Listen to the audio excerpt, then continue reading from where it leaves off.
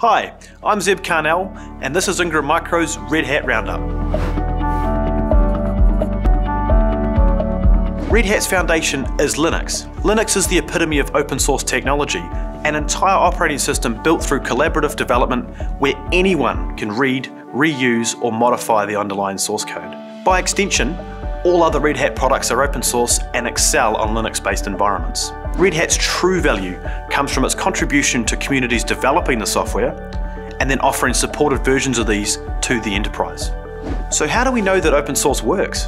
Linux and open source software is used by everyone every day. From your watch, to your phone, to your car, or doing almost anything on the internet.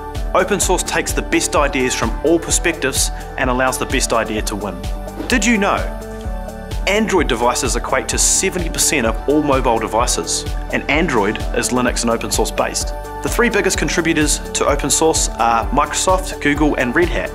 Other well known companies in the top 10 are the likes of IBM, Intel, and Facebook. Git, the world's most used version control system, was originally created by Linus Torvalds, the creator of Linux. So, what are the advantages of Red Hat's open source based products? Red Hat offers enterprise grade support and extended life cycles, packaged and maintained with security in mind, enables users to take advantage of contributions from other companies invested in the technology, and Red Hat make contributions directly to the upstream open source projects.